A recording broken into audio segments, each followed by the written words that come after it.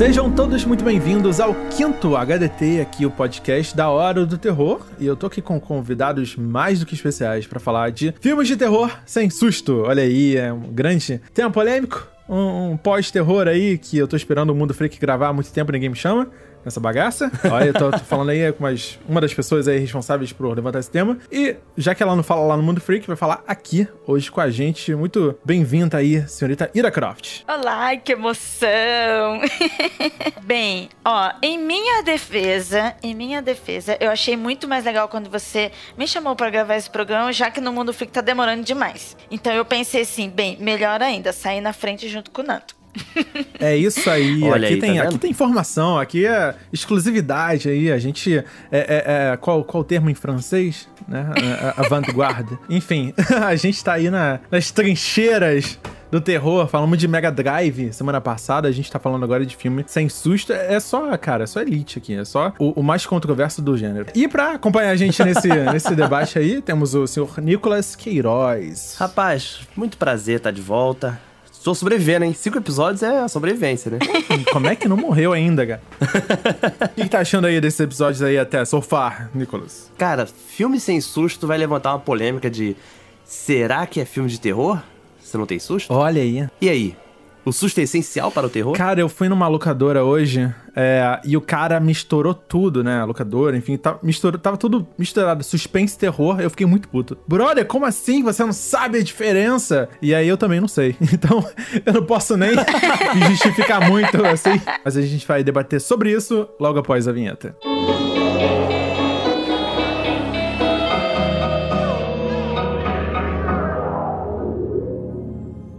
Estamos aqui reunidos para gravar sobre filmes de terror sem susto, sem jumpscare, sem scare jumps, é assim que, que o pessoal fala. Não sei qual é o termo certo em inglês, mas a gente vai falar aí sobre alguns filmes que não se baseiam, né, nesse artifício barato, às vezes, que muito filme de baixo orçamento ou baixa complexidade no roteiro se faz utilizar para causar susto, medo é, imediato e momentâneo é, nas pessoas. Então a gente selecionou três filminhos. Olha aí, cada um selecionou um filme pra gente comentar aqui. E eu queria começar com ela, a nossa convidada aí de honra, pra falar, né? Puxar o primeiro filme aí da nossa tríade de filmes. Uau, gente do céu, eu primeiro. Eu sempre fico com vergonha quando eu sou a primeira. eu escolhi pra falar nesse programa sobre o It Follows. Ou Corrente do Mal. Eu nem sabia que veio com o nome de Corrente do Mal, porque pra mim também estava como It Follows. Corrente do Mal. Muito bom, por sinal, hein? É, eu demorei muito pra assistir esse filme. Foi um filme que o Andrei ficou insistindo pra gente assistir, porque alguns filmes, principalmente desse estilo de terror, a forma como é vendida é muito dúbio. Um outro filme que eu não, que eu queria falar muito, mas eu acabei não não colocando na lista, coloquei de fora, é a mesma coisa. É, foi o Babadook. Uhum. E Isso aconteceu comigo com o Babadook. O Babadook eu demorei muito pra ver o filme, porque pra mim era bomba, sabe? E o It Follows a mesma coisa. Quando eu vi o pouco do que eu vi de marketing sobre ele, eu pensava assim, meu, olha esse filme, deve ser aqueles filmes horrorosos. Sabe, sem pé nem cabeça, sem explicação, é, ou mal produzido mesmo. E quando eu digo mal produzido, eu não quero falar, não estou falando de trash, é diferente. O trash ele é proposital. Com certeza. E o It Follows foi o que aconteceu também. Eu demorei pra caramba pra ver esse filme. O Andrei tava insistindo e eu não queria, não queria. Até que um dia eu sentei e eu terminei e falei: Caraca, por que, que eu não vi esse filme antes? O It Follows, ele é um filme sobre uma maldição. Um- uma garota loirinha, bonitinha, típica americana de classe média nos Estados Unidos. Ela sai com um cara, o cara é o também típico popular da escola, jogador. Ela sai com um cara em que ela não conhecia muito bem, mas o cara era gatão, e os dois transam. A partir do momento que os dois transam, ela adquire uma maldição. E essa maldição, o que, que é? é? É uma coisa, algo estranho que passa a persegui-la para matá-la e só vai cessar quando ela transar com uma outra pessoa e passar essa maldição adiante. Para ela quebrar essa maldição, ela precisa transar com outra pessoa. É uma maldição que se passa pelo sexo. E aí, esta outra pessoa vai conviver com essa coisa, com esse ser, com essa criatura. Eu não estou enrolando, viu, ouvinte? Realmente é inexplicável isso. Só você assistindo pra você entender. Eu acho que a gente podia mudar o nome desse filme pra Corrente da Maldade, né? Tipo, essa maldade carioca aqui que tem nas letras de funk. Nossa, é muito brasileiro. pra terminar aí de. A corrente da maldade. Quando passar no SBT, com certeza vai ter esse nome. Porque. Cinema em casa, Cara, né? você- é uma, co- é uma corrente de DST, né? Basicamente. A maldição aí é o capeta. Sim, então, é, é uma, é a personificação das doenças, Isso é né? bem louco. É, mas Corrente do Mal, vamos lá. É, cara, esse filme me impactou demais, demais, demais, porque é, principalmente pelo fato, não é, não foi o lance da sexualidade, nem nada do- dessa juventude, mas é porque a entidade, ela sempre tá caminhando até você. Isso me lembrou muito aquele assassino da colher, tá ligado? Nossa, sim. Sim, exato. Ah, verdade, verdade. Persistência, exatamente. A, a persistência. Mas só que tem um lance também, o da colher tem aquele. Como é que fala?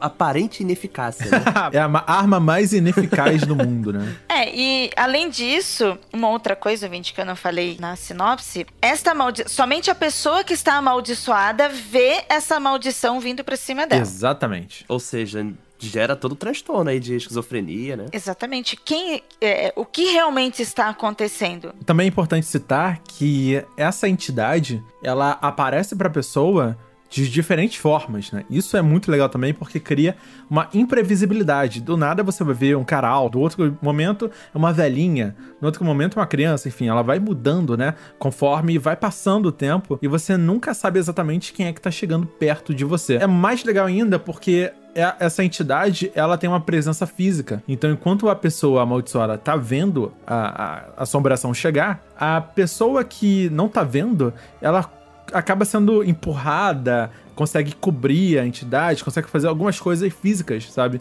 Como se a entidade tivesse física, só que invisível pra todo mundo em volta. Caramba. É bem perceptível em uma, em uma das cenas dos filmes em que ela está conversando com um rapaz que passou a maldição pra ela, porque a partir do momento que ela transa e recebe essa maldição, ela não entende, não sabe, até porque é novo e ela não sabe se ela tá ficando louca ou se essa entidade que tá vindo atrás dela realmente é uma entidade ou só uma outra pessoa, que como essa entidade vai trocando de formas, você não sabe. Você também não sabe o que tá acontecendo com você. E quando ela vai conversar com o cara que passou pra ela, mesmo depois que o cara passou a maldição pra ela, você vê que o cara tá todo ligadaço, sabe? Ele tá com medo. Ele fica olhando pra todos os lugares. Cada pessoa que tá vindo, ele pergunta pra ela: "Você consegue ver aquela pessoa? Você consegue ver aquela outra pessoa?" O cara continua paranoico. Exatamente. E você percebe que ele vive é, nessa realidade há muito tempo, né? Ele não sabe quem foi a pessoa que passou pra ele. Tem isso também, né? Então, é, o, o filme começa a desenvolver uma sobrenaturalidade. Acho que é a primeira vez que eu uso essa palavra na minha vida. Mas a sobrenaturalidade da questão da entidade que assombra, né? As pessoas e passa através do, da- do sexo e tal. Onde é completamente desconhecido. Você não tem paralelo nenhum sobre isso, né? Você não sabe dizer de onde veio, qual explicação. Cara, é um completo desconhecido. Tanto na explicação quanto na imagem que tá te perseguindo, sabe? E ela é certa, ela é certeira, ela vai chegar, entendeu? Esse que é outra coisa que causa uma estranheza e até uma boa certa originalidade no filme é que a pessoa pode andar de carro, sei lá quantos quilômetros, milhas, parar em outra cidade, só que daqui a, sei lá, 4, 5 dias a entidade vai chegar em você, porque ela veio andando, sabe? Então, esse filme tem várias questões muito originais e muito simples, né? Ao mesmo tempo, porque o fato de você não precisar mostrar a entidade economiza aí alguns milhões de dólares aí em, em- em computação gráfica, em, em tudo, né? Porque é só uma, uma força agindo e não uma, uma entidade realmente aparecendo na tela o tempo todo. Esse filme ele foi uma produção independente, né? Ele também tem a, a direção do David Robert Mitchell, né? Que nu- nunca dirigiu nada de terror. Assim, é um cara que começou a dirigir nos anos 2000, mas é o único filme de terror na- no currículo dele. Então isso é bem bacana, né? Curioso. E fico assim, aguardo do que, que pode vir pela frente, né? Exatamente. Ira, por que, que o filme é assustador pra você? O que, que fez você escolher esse filme, assim, em relação ao terror, suspense, thriller e tal? Ele incomoda. Ele não é um terror que te dá sustos. Você. Uma coisa que eu não gosto em filmes de terror mais pop Vou colocar aqui Annabelle, por exemplo. Filmes assim, até mesmo de diretores consagrados, sabe, que já fizeram grandes filmes de terror e tal. Uma coisa que me incomoda muito nesses filmes no sentido ruim é trilha sonora. Porque um, um, filme mais pop, ele tem uma trilha sonora muito alta. Eu entendo a produção disso, eu entendo o propósito, tá? Pessoalmente, para mim, me incomoda. Porque assim, vem, vem aquela trilha e você. Não, eu, não, eu não consigo prestar atenção na cena, porque eu tô prestando. Meu cérebro tá prestando atenção na trilha. Então, esses filmes mais pop me incomodam muito isso. A trilha e aqueles sustos bobos. Tipo, vai aquele barulho. Pã, pã, pã, pã, pã aí olha a janela, não tem nada. Isso é muito frustrante. Aí quando vira, né? Exatamente. Isso é frustrante. No caso do It Follows, o que, que ele incomoda? O filme incomoda, a situação incomoda, que não existe e ao mesmo tempo existe em outras formas, incomoda. Esse, para mim, foi o, o terror, sabe? É, como Nando comparou com uma DST você sair com uma. Você transar com uma pessoa que você desconhece, você transa de qualquer jeito. É, não estou julgando isso, quem nunca, né? Mas enfim, agora você adquirir uma coisa depois disso, imagine a raiva. Se quando você já tem uma transa ruim, você já fica muito puto no dia seguinte, imagine além de ser ruim, ainda trazer uma maldição. E você não sabe como resolver isso. Então, para mim, foi esse incômodo. É, esse incômodo de ser constante e de não saber o que fazer. Exatamente. Nicolas, você chegou a ver esse filme, cara? Cara, não vi. Eu, na época, acompanhei, eu, acho que alguns podcasts falando sobre. Uhum. E fiquei muito interessado para ver e, cara, perdi. perdi o, o, compasso, deixei de ver. Até fui conferir o trailer dele, né? E engraçado que o trailer já tem toda uma outra proposta, né? Porque trailer é feito para vender, para tipo, fazer com que a galera consuma aquele filme. E no trailer tem vários jumpscares, sabe? Só que eu, eu, assim, eu só não me abalei porque eu sei que eu já vi outros filmes como, sei lá, o próprio Corra, sabe? Você vai ver o trailer dele, a bruxa, né? E, cara, é bizarro, assim. O trailer não condiz com a realidade. Então, eu falei, tá, eu preciso baixar o filme e ver, porque se eu for confiar no que tá aparecendo aqui. Se bem que esse filme tem Netflix, né? Tá na Netflix agora. Ah, maravilhoso. Uma coisa que é legal também nesse filme, por ele ser independente, ele também é mais simplista nas coisas. Só que aqueles é, simples, não estou falando disso de uma forma forma conotativa ou diminuindo. Não, é uma forma boa. Então você tem um grupo de. A partir do momento que ela adquire essa maldição, ela vai falar com a irmã dela e um grupo de amigos. Mesmo eles não vendo, eles acreditam nela, eles vão tentar defender. Então você tem também ali um, um núcleozinho de pessoas tentando ajudar sem saber o que está acontecendo também. E aí, dentro desse grupo, os diálogos, é, o que acontece com essas pessoas, os lugares, as, as atitudes que elas tomam, as decisões que elas tomam, são muito mais próximas do que a gente também faria. Isso para mim mostra muito mais próximo da gente, sabe? Tipo, seria eu naquilo dali. Eu teria pego essa maldição, eu não saberia o que fazer, eu teria essas reações, eu estaria fazendo isso, eu me vejo naquela situação. Exatamente. E isso é raro, né? Ser trabalhado pelo cinema mainstream, né? Você pega aí é, os cinemas, né? os filmes que são feitos por Hollywood e tal, sempre tem essa coisa toda mística, aquela historinha sobrenatural clássica da possessão, da entidade. É, mas, cara, não tem nada, assim, dizendo para eles, fala, cara, faz uma parada, tipo, dia a dia, sabe? Põe pessoas normais aí, sabe? Põe pessoas que nunca viram nada sobrenatural da vida. E aí, essas pessoas normais do dia a dia, elas se deparam com uma parada que, sabe, vai mudar a vida delas. E elas vão lidar disso da forma que eles conseguirem improvisar na hora, sabe? Não vai ser um grande plot com várias reviravoltas bizarras, não. E, e isso é uma coisa que até é, desagradou muita gente no final do filme. Porque as pessoas ficam esperando que vai ter uma grande revelação, uma grande reviravolta. E até tem várias descobertas e vários detalhes que a gente aprende ao longo do filme. Mas ele é muito mais próximo da vida, né? Que, tipo, cara, não tem muita novidade, não. Tipo, é, é, é exatamente isso que a gente entendeu. E a gente vai continuar tentando coisa, testando coisa, até ver se dá um resultado. E você continua, né, confabulando, você continua pensando sobre o filme. Uma das coisas que eu mais gosto em filmes, seja ele em terror ou até mesmo filme de ação, o drive, que não tem nada a ver com terror, mas o Drive é um, é um filme que me fez ficar pensando muito depois sobre ele. E o It Follows, ele é um filme assim. Ele não tem grandes sustos, ele não tem grandes ações. O final também é um final dúbio e ele te faz ficar pensando depois. O que será que aconteceu? Como será que aconteceu? Você acaba criando fanfics na sua cabeça. Isso que você falou, Ira, é muito importante porque eu acho que vai ser uma característica que vai aparecer nos outros filmes que a gente vai falar aqui hoje e que eu acho que tem alguma coisa a ver com os filmes que não são jumpscare, sabe? Eu acho que parece que o jumpscare limita o filme àquele tipo de terror que é puramente um artifício de uma técnica, né? E esses filmes que tem essa tensão, que mantém a gente ali preocupado, né, de certa forma, ao longo dele, quando acaba, você tem um uma, uma pós-vida, e tem uma sobrevida o filme. Você fica pensando, você fica teorizando, sabe? Você busca outras pessoas que já viram pra falar a respeito, né? Pra mim é uma característica foda, sabe, demais que um filme pode ter. Excelente observação, Nicolas. É, principalmente porque eu acho que a maioria desses filmes que a gente comenta, né, sobre não ter susto, não se basear em susto, é justamente esse fato dele recortar a vida, sabe? Recortar trechos e, e mostrar a realidade, o terror na realidade em diferentes aspectos, sabe? Aham. Mesmo que representando uma DST, representando uma época da, da história, os anseios daquela população, daquela sociedade. Cara, verdade. Mas ele não se propõe a ser um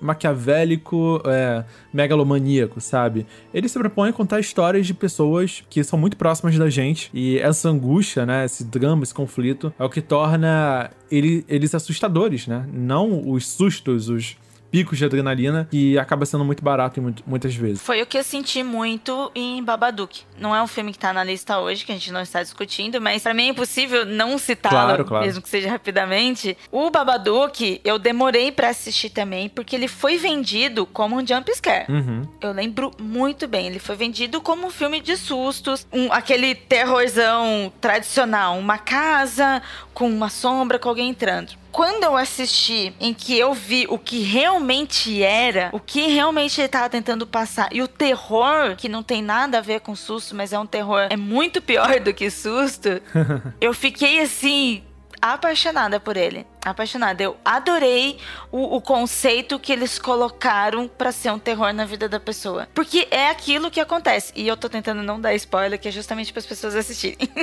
Muito bom. Bist nicht unsere Mama. É, a gente vai comentar ao longo aqui do, do episódio é, mais alguns outros filmes, né? Acho que a gente teve que selecionar alguns pra poder comentar, mas a gente ainda pode citar alguns outros. Obvi- Obviamente, isso tudo vai estar listado na publicação do website, então se você quiser, você pode visitar lá o website que vai ter os trailers aí todos e sinopses e descrições de cada filme que a gente recomendar. Eu queria puxar o próximo filme, o segundo filme aqui, que a gente vai comentar, que é o clássico, né? O maravilhoso A Bruxa, que muita gente levantou no final e foi embora xingando o filme. E eu queria aplaudir de pé, de todas as, todas as formas possíveis, essa masterpiece aí, essa obra de arte incrível, feita com baixíssimo orçamento, mas que conseguiu representar muito bem o drama de uma família do século XVII, aí, 1600 e alguma coisa, antes das bruxas de Salem, onde um pai de família, sua esposa e três filhos são excomungados da, da- do vilarejo onde eles moravam e vão buscar abrigo do lado de uma floresta, aí do lado de, também de um rio. Só que na floresta mora uma bruxa, e aí coisas estranhas começam a acontecer ali com a família. Tudo cai, né, na filha mais nova deles, né? Começa a suspeitar que ela é uma bruxa, na verdade, e que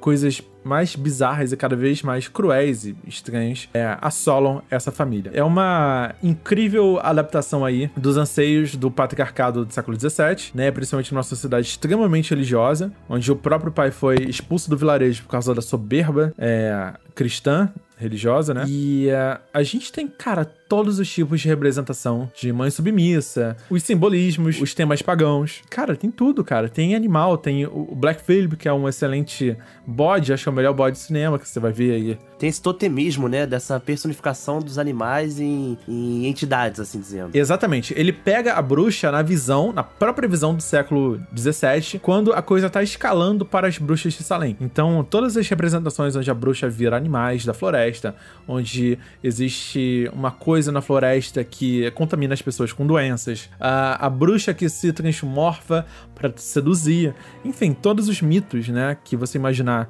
da bruxa daquela época, ele é trabalhado seguindo essa crença da própria época, da própria religião. E isso é muito incrível porque ele foge completamente todas as outras representações de bruxa, né? Você tem até referências a Branca de Neve e outras coisas aí de pop, mas ele foca muito mais nessa pegada de suspense, né? Um drama e suspense, né? Principalmente um drama de terror que muita gente comentou por aí, onde você não sabe o que, está acontecendo com a família e é um conflito interno da família é, sobre o que, que elas creem quanto o que, que realmente está acontecendo. E aí as pessoas ficam cegas por causa disso, né? Você é o que você sabe. Então, quando você sabe pouco, você sabe uma coisa doutrinada, limitada, você vê as coisas de uma outra forma. Cara, é, para mim é um dos melhores filmes aí. Com certeza, um dos melhores de 2015 e um dos melhores dessa década aí de filmes de terror que lançou. Total, cara. Esse filme é uma coisa que você falou da, da época em que ele se passa, né? Que é 1630. Cara, a cara das pessoas, né? Dos atores, da, das atrizes, é, tudo é muito bonito, né? O figurino, a caracterização.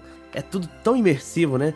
E, assim, esse filme ele é sensacional, cara. Ele custou 4 milhões de dólares para ser feito e ele rendeu 40 milhões, sabe? É uma parada que ele é um sucesso comercial, assim dizendo. Por mais que as pessoas insistem em falar que não, que ele foi um azarão, que ele chegou ali e não, não vingou, sabe? Não, cara, esse filme vingou pra caramba. Obviamente, eu acho que é plano da publicidade, como a gente sempre fala, né? De como vender um filme e esse filme foi vendido errado. Talvez não se, não se sabem como vender um filme como esse. Essa que é a real, né? Tipo, como que se vai se vender um filme como esse, que muita gente até considera como um terror arte, né? Sim, sim, sim. Eu acho que muita gente foi frustrada pro cinema porque realmente não sabia. É, eu tava esperando um filme de susto, de filme de terror clássico, né? E foi entregue uma experiência muito mais é, um suspense, né? Um drama e tal. É, sem sustos, obviamente. Tem, ele, o, o, diretor até tenta botar uma coisa ou outra, mas muito leve e tal. Mas ao mesmo tempo, você fica muito tenso, cara. Principalmente a reta final, quando tudo desmorona. Você fica muito tenso, você não sabe que, que vai acontecer com aqueles personagens. A escalada de conflito eu acho sensacional. Eu acho que ele não se segura na hora das coisas darem errado, assim. E não precisa também apelar pro, pro visceral, ou seja, ele não mostra violência, sabe? Ele não mostra a coisa acontecendo. Ele, cara, você sabe das coisas, você escuta, né? Você imagina. Você sente. E isso eu acho. é, total. Cara, ver ele no cinema foi realmente uma experiência incrível. Não sei se teria o mesmo efeito, porque o cinema, né, o formato dele é um pouco diferente do cinema tradicional, ele é um pouco mais achatado. Ele é quase como se fosse um, um, uma televisão de tubo 4x3. Ele tem uns, uma porcentagem das laterais cortadas para parecer com que a, o céu esteja. Uh, tipo assim, o céu esteja maior, sabe? As árvores. E, e, os ambientes sejam mais claustrofóbicos, sabe? As paredes são mais próximas e tal. Então ele passa essa ambientação muito incrível de fotografia é, que eu achei. É, dá para notar assim a diferença. Cara, a iluminação completamente luz natural, né? É, usando muitas velas para iluminar as cenas noturnas. E, cara, é, é um filme muito sinistro.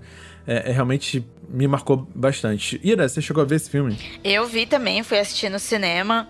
Adorável. Esse filme é maravilhoso. É, e como o Nicolas falou, realmente, a publicidade dele foi foda. Destes filmes que nós escolhemos, este é o filme que pior foi vendido e ele teve um marketing muito muito forte aqui no Brasil, até diferente dos outros. Os outros não não foram vendidos dessa forma, mas eu lembro que saiu em diversos portais, tava saindo é, publicidade em ponto de ônibus aqui em São Paulo, em diversos lugares que não se vê falando de filme assim. E uma das coisas um, um, dos erros principais da venda desse filme é que eles venderam a bruxa como literalmente a bruxa, personificação de uma mulher. O cartaz desse filme que foi o que mais o marketing bateu, era ela de costas nua entrando na floresta. E aí todas as frases de efeitos era vinculado a isso. Então muita gente que foi assistir no cinema a, até não estava esperando um jump scare, mas estava esperando algo mais gore, sabe? Tipo da mulher fazendo bruxarias e comendo gente e sei lá, fazendo coisas horrorosas esperando um filme mais impactante. Se bem que para mim no filme ele foi muito mais mais impactante do que se ele fosse visceral ou se fosse jump scare. Com certeza. Uhum. Seria muito fácil, né? Estaria tudo mastigadinho. Exatamente. Porque a partir do momento em que as pessoas, as crianças, vão sumindo no começo desse filme e você realmente não sabe para onde foi o que, que aconteceu, o final, este filme, especialmente esse filme, ele tem um desenrolar que explica a história. Diferente desses outros que a gente citou aqui. O It Follows, ele não tem um final que justifica. A bruxa Bruxa, ele tem um final um pouco mais justificado. Porém, é, antes disso, antes dele chegar para os finalmente,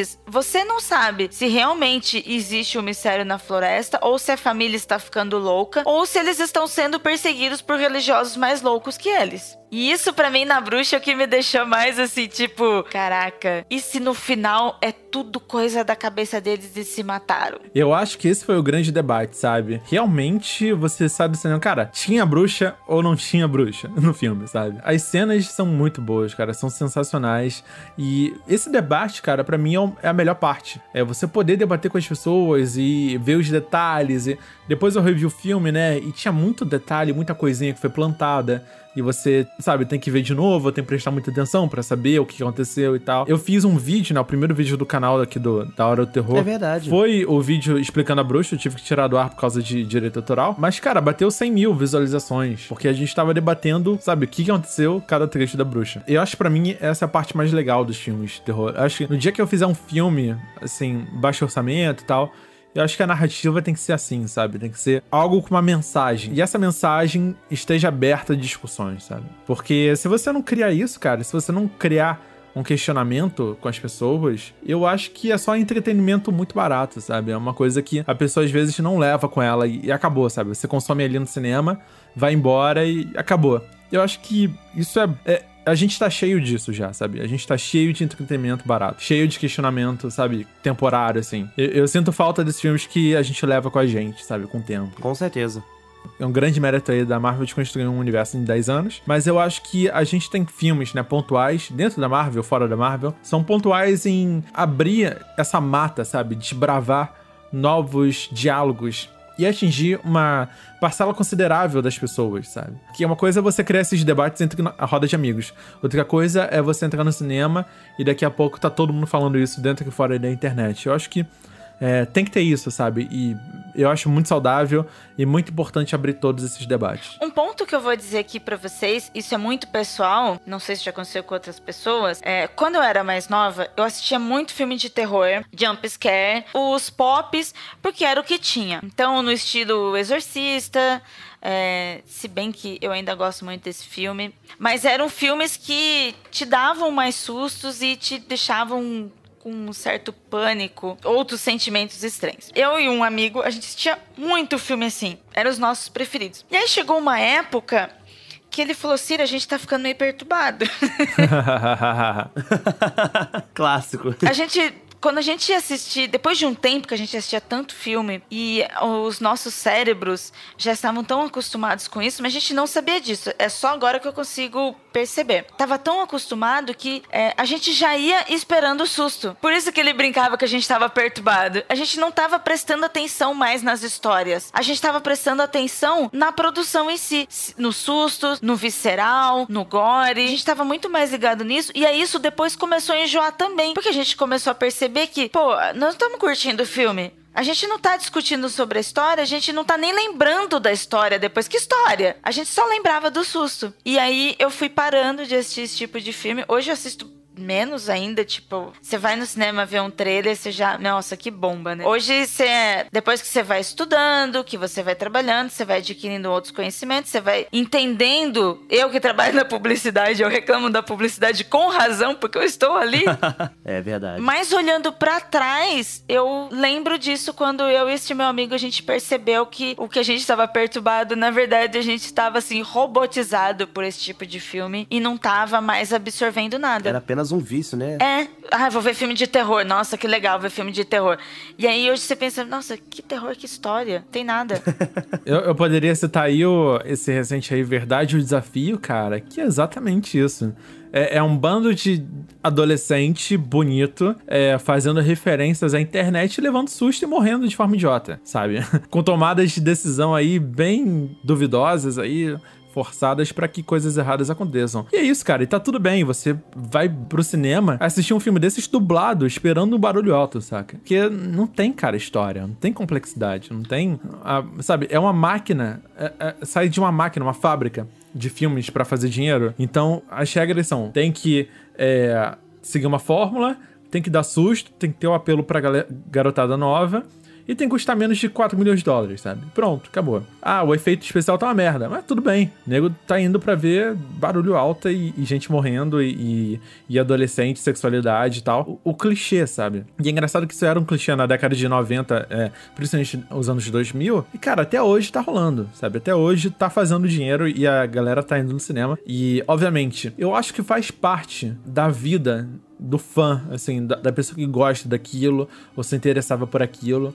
É, porque se ela gostar realmente do gênero e começar a amadurecer, eu acho que ela vai atrás de outras coisas, sabe? Ela pode sair do terror, pode procurar outros gêneros, pode procurar outras mensagens. Ela também pode se aprofundar e ir atrás de terror mais clássico, mais, sabe? Mais antigo, é, bons e referenciados. Cara, volta e meia, eu tô conversando com uma garotada, assim, uma criançada mesmo, no YouTube, de comentário, e o pessoal odeia quando eu recomendo filme antigo, sabe? Década de 90. Porque para eles são filmes que não têm qualidade. E, cara, muito pelo contrário, sabe? São filmes que ensinam como se fazer filme, sabe? É, é um absurdo esse tipo de preconceito também, muitas vezes. Eu acredito que seja uma falta de amadurecimento mesmo, no gosto, assim, é, dessas novas gerações, principalmente. Que, que é um costume mesmo, sabe? É aquela coisa de, tipo, o cara tá acostumado a ver Full HD no YouTube, sabe? Aham. Uhum ver um filme que tem, tem uma qualidade menor que isso é difícil às vezes, sabe? O cara não consegue aceitar. Vai ver um filme em SD, sabe? Verdade. 4x3. É difícil pra caramba. Mas é, tem uma barreira que, assim, talvez aquele cara não tá preparado agora. Uma hora ele pode estar ou não, sabe? É, ou não, tudo é bem. É uma questão de tempo. Tá tudo bem, sabe? Mas assim, o terror, eu vejo um paralelo traçando com outros gêneros do cinema, que nem o que era o standard do cinema nos anos 50 para trás, eram os musicais, né? Uhum. E nos anos 60, isso tava tão falido que isso aparece até no filme Shape of Water, né? E ganhou Oscar e tudo, que mostra as pessoas não iam pro cinema, por mais que os caras dessem ingresso de graça, porque ninguém queria ver isso. O pessoal preferia ver TV porque os telejornais eram muito mais reais do que o cinema, sabe? A violência, tiroteio e tal. Exatamente. Teve que vir uma geração de jovens drogados invadindo Hollywood para fazer filmes como Poderoso Chefão, sabe? Como Taxi Drive, por aí vai. E isso revolucionou o cinema. Eu sinto que o cinema terror desse tipo, do jumpscare, tá, tá nessa esteira, sabe? De tipo, cara, isso tá muito ultrapassado. Tem quem curte? Tem, mas sabe, deixa isso daí cair no esquecimento para quem sabe virar um saudosismo no futuro. Temos que fazer uma revolução. E quem sabe o Corra ganhando um Oscar, sabe, de melhor roteiro. Essa, essa produção da Bruxa, que é mega recente, quem sabe essas produções aí vão revolucionar esse mercado do terror, sabe? E eu quero acreditar nisso, porque é uma esperança, né? Nossa, que forte ter esperança. Eu tenho esperança. Eu acredito na promessa de dias melhores. Hope. e filmes piores. O terceiro e último filme da noite, que a gente grava de noite, já te falei isso algumas vezes aqui, é do Nicolas. Por favor, Nicolas, puxe o terceiro filme pra gente comentar. E agora falar sobre Boa Noite Mamãe. Cara, que nome, né? Eu não levei a sério. Primeira vez que eu vi esse nome, Boa Noite Mamãe, eu falei, caramba, esse filme não, deve ser legal. Mas o nome em inglês é Good Night Mommy, então dessa vez o Brasil acertou na tradução, vamos bater palma, né?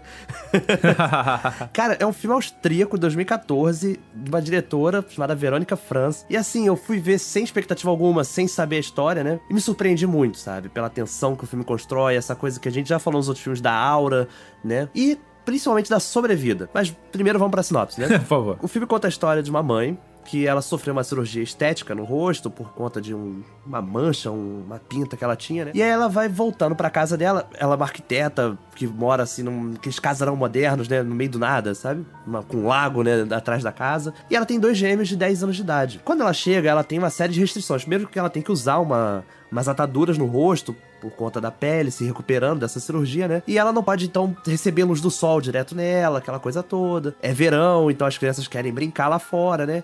E aí a mãe, tipo assim, ó, aqui dentro você faz silêncio, porque a mãe de vocês tá, tá mal, que não sei o quê. E lá fora vocês podem brincar à vontade e tal, sem abrir cortina, sem nada do gênero. E as crianças vão, vão estranhando que a mãe tá muito fechada, não dá para ver o rosto dela direito. Até que um deles começa a suspeitar que não é a mãe deles, foi substituída. E aí que começa toda a tensão do filme, porque são dois filhos duvidando de se a mãe é realmente a mãe deles, né? E, cara, é assustador pela atadura que ela usa sabe? Já é uma, uma aparência assustadora. É assustador pela crueldade, assim dizendo, o sadismo que essas crianças têm. Filmes com crianças sádicas são sempre muito pesados, né? E ao mesmo tempo tem aquele terror do isolamento, porque se passa numa casa no meio do nada, no interior da Áustria, sabe? Não tem ninguém ali por perto. Então, é assim, é um filme de tensão do início ao fim. E ele tem vários easter eggs espalhados, sabe? Coisa que quando eu acabei de ver o filme, eu vi até com meu irmão, que também gosta muito de filmes de terror, é ouvinte aqui do podcast, é ouvinte do Mundo Freak, cara, é fã pra caramba. E ele ficou assim, cara, o que, que foi isso, sabe? que tiro foi esse? Porque a gente ficou assim, velho, o que que aconteceu? E aí a gente foi no Reddit, né? Aquele costume que a gente tem de vamos no Reddit ver o que o pessoal tá falando. E alguém falou: vocês viram que apareceu no canto da imagem no minuto tal? Aí, opa, peraí. Aí voltamos. Caramba, não tinha visto aquilo. Aí começou, e aí cada um botava um easter egg diferente.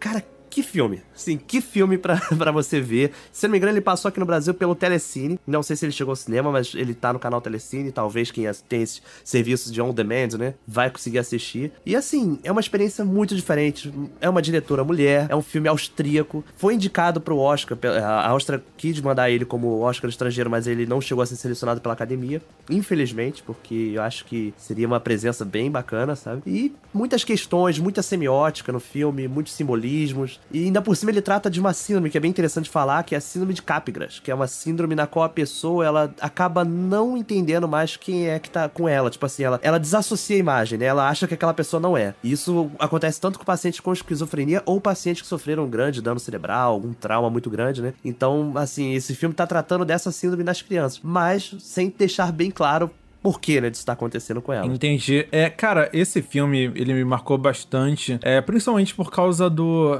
do choque cultural, né? A gente começa aí com um filme austríaco, a gente vê o idioma, né? É, a gente, eu, eu assisti legendado esse filme, então, assim, já causa uma estranheza. A mulher que faz a mãe, ela é uma apresentadora de TV, é uma pessoa que usa imagem, alguma coisa assim, então é muito importante, né? Ela demonstra a importância dela de, tipo, ter uma aparência, sabe, saudável e ter uma recuperação saudável e tal. E ela tá passando por um procedimento muito é, importante para ela pessoal. Só que os filhos, cara, como eles estão numa fase de formação, né, de entendimento, de inteligência, de assimilação, é, de várias coisas ali da, da própria criação de uma criança, quando eles começam a duvidar que a mãe deles não é a mãe deles, ou seja, eles podem ser adotados ou a mãe dele foi substituída, cara, isso é um, é um, medo muito comum de todo mundo, sabe? Todo mundo em algum momento da vida a gente achou que os nossos pais iam nos abandonar, ou que na verdade a gente era adotado, ou que, sabe, uma desasso desassociação. Por exemplo, quando os seus pais te deixam perdidos no mercado, ou seus, seus pais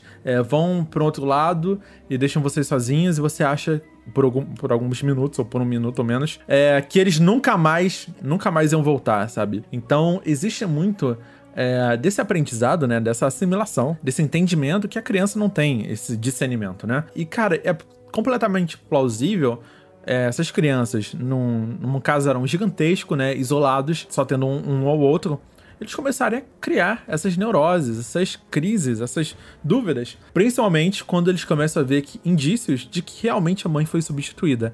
Isso foi o que mais me chocou, sabe? Cara, eu não sei mais. Mente vazia, oficina do diabo, né? É, eu não sei mais se é verdade ou não. Não sei mais o que tá acontecendo. E eu fiquei chocadíssimo, assim, porque durante o filme me causou muita angústia, sabe? Eu consegui entender o lado deles, sabe? Uhum. E é realmente Exatamente. É que nem a bruxa, né? É bem parecido. Você fica do lado daquelas pessoas, sabe, ignorantes, né, humildes, e você fica também entendendo a visão deles. Você, você consegue perceber por que, que eles acreditam na bruxa, sabe?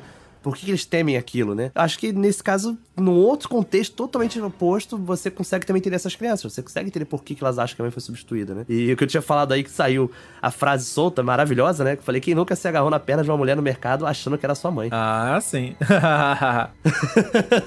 Quando criança aconteceu comigo, cara, e foi brabo. Eu não esqueço que foi na fileira do miojo, biscoito e miojo.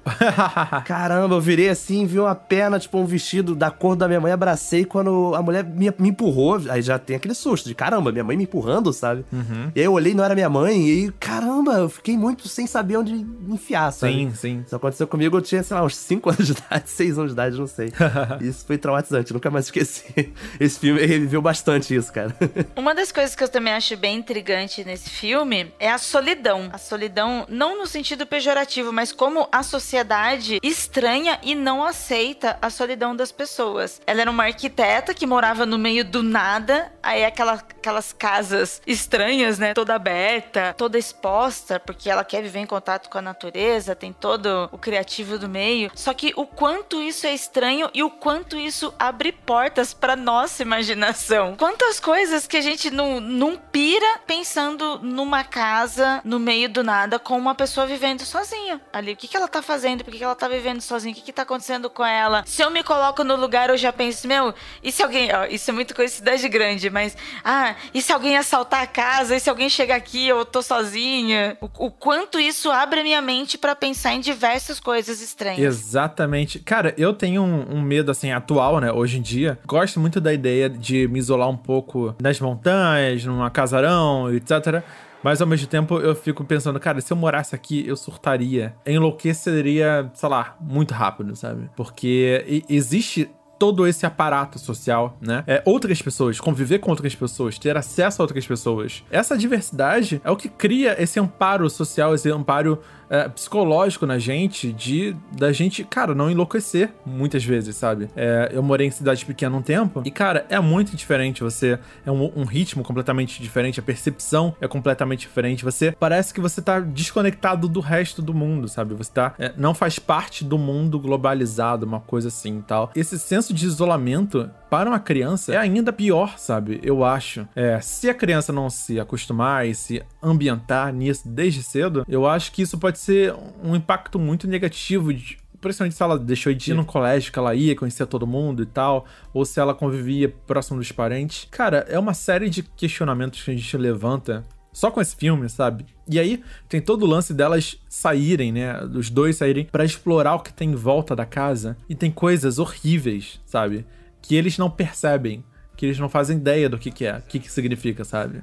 Cara, que filmaço. Filmaço, né, cara? Que filmaço. E ele também tem um plot twist sensacional, né? Isso é bom frisar pra, assim, causar aquela ansiedade nas pessoas de, cara, veja, porque ele tem um final que é muito, muito bacana, sabe? Filme completo, assim, de terror, de tensão, de criação, de personagens, né? De momentos, eu acho que ele tem alguns momentos marcados que são bem interessantes, como quando tem um momento que eles recebem uma visita da Cruz Vermelha na casa, né? E esse momento é, é de uma tensão absurda, né? Que você fica, Sim. caramba, e agora, e agora, né? Será que sem dar muito spoiler, né? Será que. Cara, que filme. Assim, ele é tão bom que eu fico. Sabe, tem filme que dá tristeza de você já ter visto, porque você gostaria de ver como se fosse pela primeira vez. Eu quero até assistir de novo esse filme, porque faz um bom tempo aí que eu vi. Cara, é um excelente filme. Tem vários filmes excelentes pra gente assistir e reassistir de novo. Eu só vi ele uma primeira vez e eu tô devendo assistir de novo só pra ver os pequenos detalhes e os, as coisinhas escondidas aí ao longo do filme que a gente deixou passar na primeira assistida. Esse é outro detalhe, né? Outra característica desses filmes bons é que vale a pena a gente ver mais de uma vez porque vai ter coisa nova, vai ter coisa plantada e sendo desenvolvida desde o início. Ira, mais alguma coisa sobre esse filme? Ou. Tem nada. Ah, vocês já disseram tudo e esse filme, todos eles são maravilhosos. Todo mundo tem que assistir tudo. Com certeza. Eu queria agradecer demais a participação aí de senhorita Ira Croft. Ai, quem agradece sou eu. Adorei vir aqui participar desse programa com vocês. Foi sensacional. Obrigada pelo convite, Nando. Obrigada pelo papo, viu? Vocês dois foram maravilhosos e eu adorei esse tema. Espero poder voltar. Ó, já eu deixando aqui o convite para eu voltar, Com né? certeza. Volte sempre. Se você gostou, as minhas redes sociais são iracroft lá no Twitter. Então, se você quiser continuar esse papo, quiser falar sobre os filmes, mais do que a gente falou aqui, você pode me seguir e me chamar. A gente vai conversar também. Você também pode me ouvir lá no Mundo Freak, que você, se você é ouvinte aqui deste programa, você já deve estar cansado de ouvir falar sobre nós.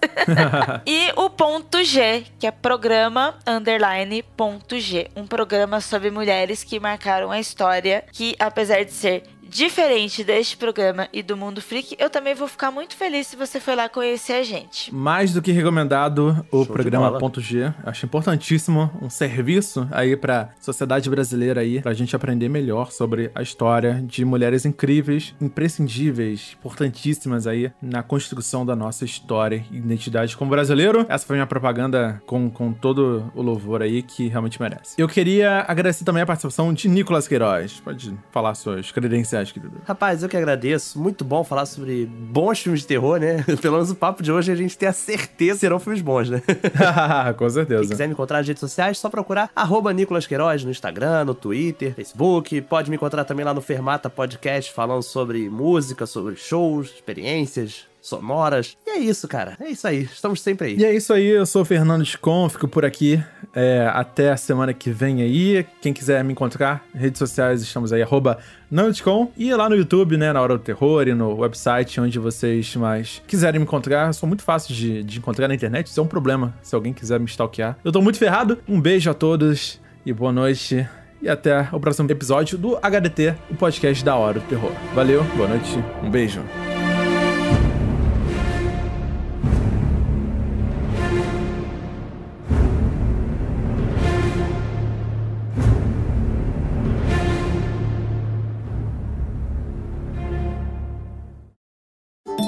Este podcast foi editado por Andrei Fernandes.